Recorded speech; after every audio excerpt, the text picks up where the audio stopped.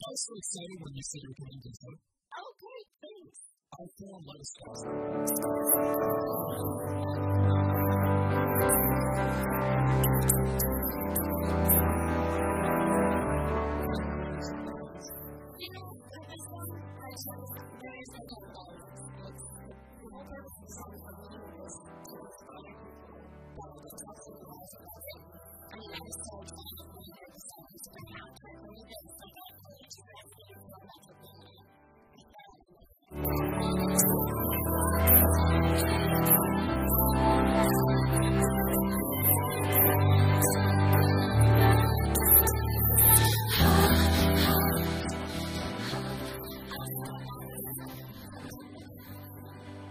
Um,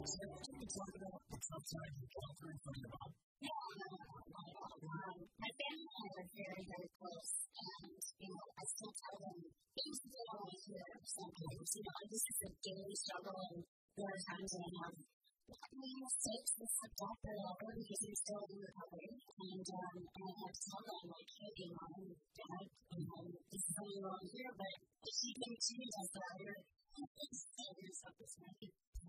To reading about your story, your struggle, I didn't know that much about Teddy Mom. Yeah. I didn't know some people afraid to apology and things. That's what I had. But in your words, to help so many girls who see what did you go through?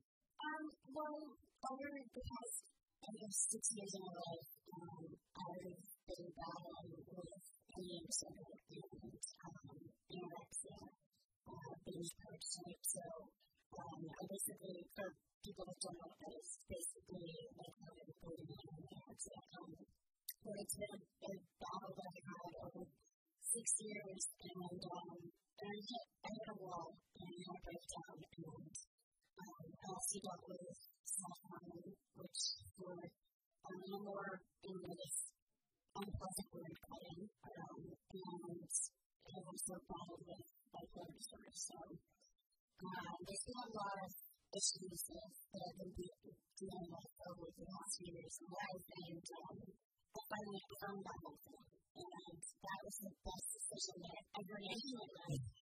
And it's just, it feels great, you can probably be that one life.